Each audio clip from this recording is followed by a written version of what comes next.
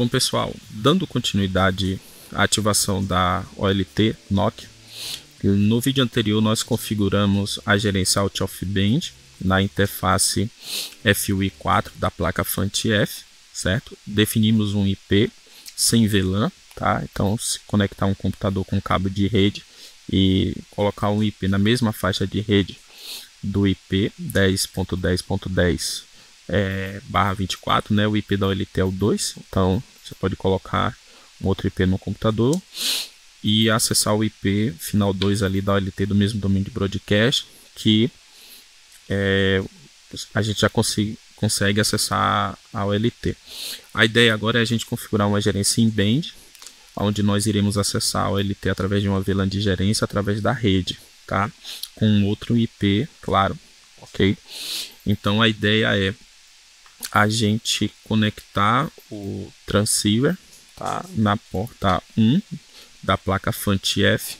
E um detalhe bem importante aqui, pessoal, é que na OLT Nokia, todo transceiver, todo GBIC tá, que for conectado na OLT no equipamento, precisa ser Nokia. Tá? Eu não posso utilizar um GBIC de outro vendor tá? É, na OLT Nokia, direto na OLT. Ok? Então a OLT ela é enviada para os nossos clientes, a OLT Nokia. A gente já manda o GBIC Nokia, tá? compatível com a OLT. Ele é um GBIC do tipo SFP+, de 10 GB, ok? SFP Plus. É, o comprimento de ondas é 1310 nanômetro, tá? É, duas vias, né, LC. Então você só precisa ter um outro GBIC transceiver, né? é, compatível com esse, né, para conectar no seu switch, no seu roteador, aonde vai fechar a conexão de uplink da OLT, tá? É, dito isto, no nosso cenário aqui, nós vamos utilizar a interface, né, a porta 1 da OLT, e nessa interface aqui nós iremos passar uma VLAN tag, que vai ser a 4086, tá? é, para ser a nossa é, VLAN de gerência, ok? É, dito isto, eu posso acessar a OLT via cabo console ou pela minha gerência out of band.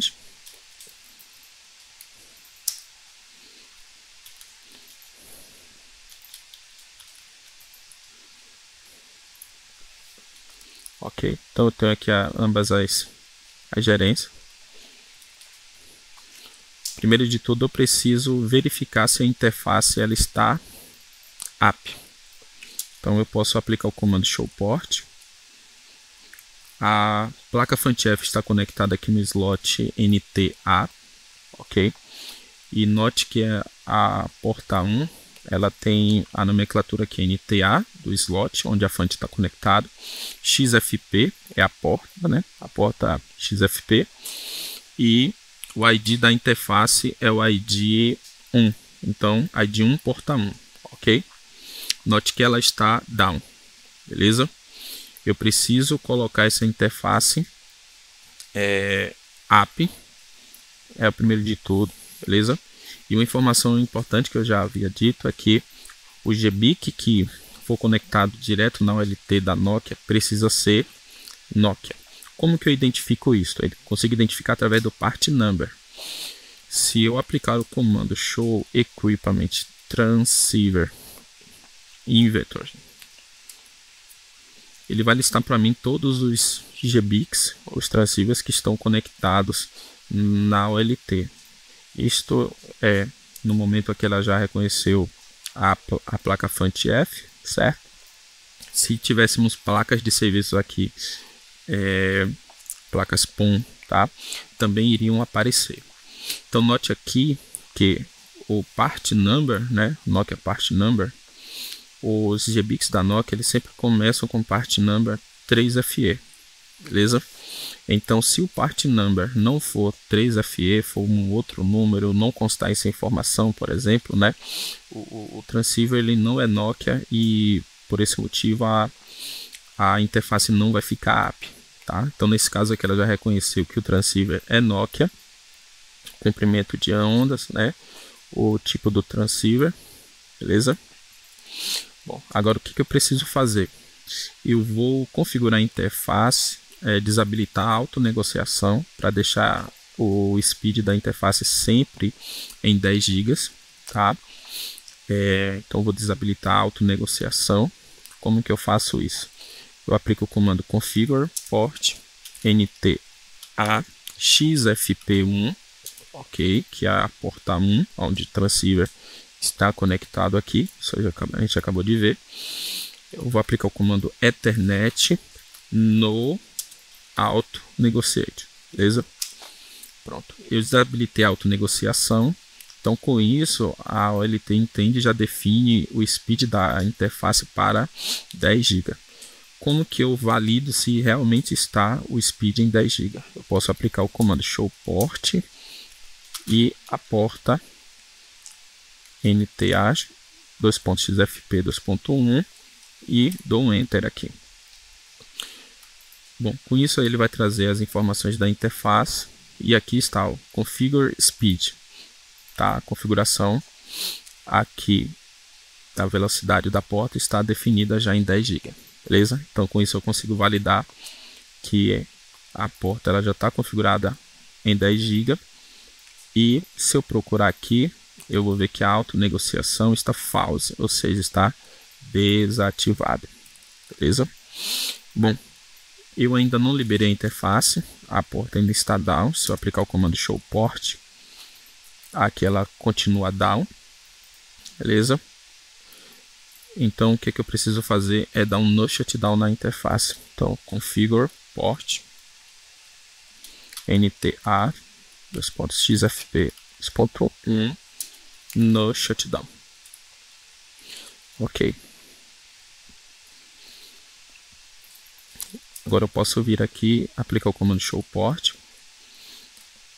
Notem que a interface agora está app está também com o link app. Então isso quer dizer que a comunicação ponto a ponto entre a OLT e o switch ou roteador, tá? De 10 GB já está app, beleza? Eu já configurei a VLAN no meu roteador, a VLAN 4086, e já defini o IP, tá? Então o IP em band da OLT será o IP 192.6831.21/20k 24 e o gateway o gateway será o 19268.31.e, ok? Bom, com isso, primeiro de tudo, eu preciso criar a nossa VPLS, tá? Como que eu crio a VPLS? Eu vou no contexto de serviço, configure service VPLS. É, nesse caso, a nossa VLAN vai ser a 4086. Então, eu vou colocar também a VPLS com o ID 4086 para facilitar, tá? A identificação Customer 1 é, eu vou dizer que nessa VPLS só teremos VLAN do ID 4086 então, 4086 e aplico um create aqui eu posso colocar já uma descrição então VPLS MGMT, por exemplo, né? Se quiser pode colocar em band ou qualquer outra informação, só lembrar de fechar o aspas, certo? Agora eu preciso criar o nosso SAP. O SAP a gente vai identificar ali a nossa interface física com a VLAN, que nesse caso é a interface XFP1 da placa NTA. Então, NTA, dois pontos, XFP, dois pontos, 1, dois pontos, o ID da VLAN, que é a 4086 é, espaço create, ok? Bom, criei o nosso SAP. Agora eu preciso dar um exit, porque quando eu crio um SAP, a, a gente já entra dentro dele, né? Então eu dou um exit para voltar para a VPLS e aplico um no shutdown na VPLS. Tem comando info. Eu já consigo ver que eu já é, configurei já criei o SAP corretamente, certo? Na aula anterior, no vídeo anterior, nós é, criamos um IES com a ID 1 e já criamos uma interface para é, gerência out of band. Então a gente vai usar o mesmo IES1, só que dentro do IES1 a gente vai criar uma outra interface com é, um outro nome e colocando o IP da nossa gerência em band, beleza? Vou dar um exit all, vocês entenderem. Então vou aqui configure service IES1 ok? E eu já posso já configurar a interface aqui, interface, por exemplo, MT, MGMT, é, eu, o nome que vocês preferirem em band, por exemplo, create, tá? Já estou dentro da interface. Aqui eu vou colocar o IP address. Então o IP address será 192.131 21 barra 24, então 92.68.31.21 barra 24. E agora a gente vai vincular essa interface no na nossa VPLS que a gente criou anteriormente aqui, a VPLS 4086, tá? Então vou SAP NT dois pontos VP desculpa ali, SAP NT dois pontos VP 2.1, 2.4086 create, beleza? Bom, ele entrou dentro do SAP, vou dar um exit, um info, tá? E se eu abrir aqui o CMD, o computador já está nessa mesma rede, então vou tentar fazer um ping aqui para o IP da OLT 21 que a gente configurou, beleza? Note que já está pingando eu posso vir aqui e remover o IP, certo? Vocês verem que realmente está configurado. Eu posso dar simplesmente aqui um no address para validar. Vejam que parou de responder o, o pacote CMP.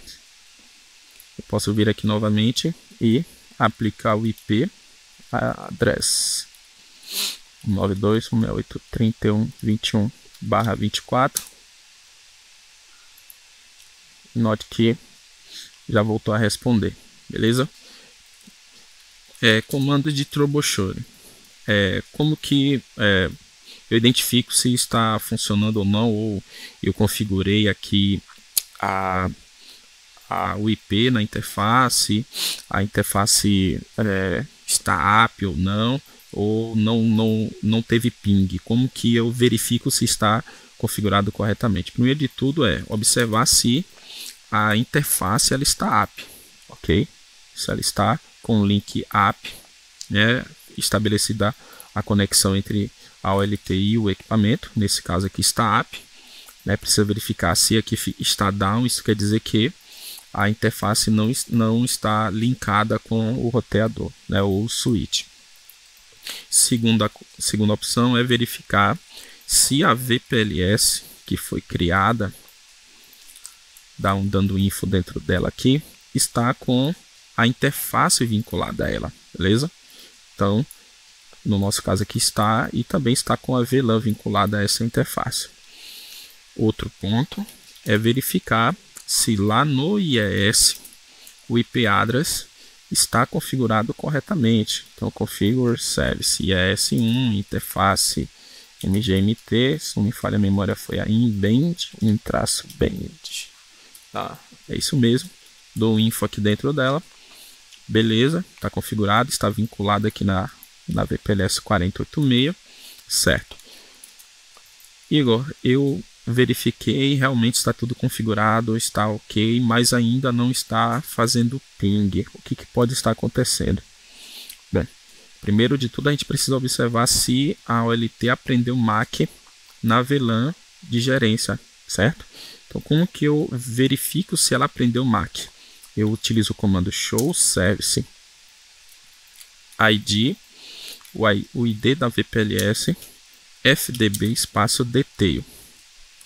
Com isto, eu consigo ver se a OLT está aprendendo MAC na VLAN 486. Então, Note que eu tenho vários outros equipamentos na mesma nesse mesmo domínio de broadcast, na mesma VLAN ali, certo? Então a OLT ela aprende ali os Macs. Se não aprendeu nenhum Mac, então muito provavelmente o switch ou o roteador que está fechando a conexão com a OLT não está passando a VLAN 4086. Então é preciso verificar isso, tá? Então com esse comando a gente consegue ver. Um outro detalhe é que a OLT pode fazer um ping nela mesma, saber se o IP está configurado corretamente. 3121, ok, respondeu ping, está ok. Bom, o último detalhe é que se você ainda não consegue fazer um ping na OLT, talvez precise de uma rota default na OLT. Então aí a gente precisa configurar uma rota default. Como que eu configuro uma rota default? No nosso caso, o nosso gateway aqui é o gateway 92.168.31.1, ok? Então, vamos configurar aqui uma rota default. É no contexto de route. Então, configure route é static route, né? Route é, zero. Opa, esse que travou aqui. Voltou. Tá. 0.0.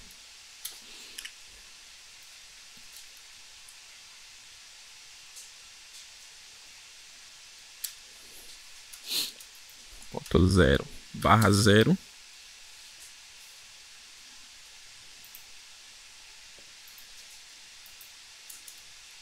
barra zero, tá?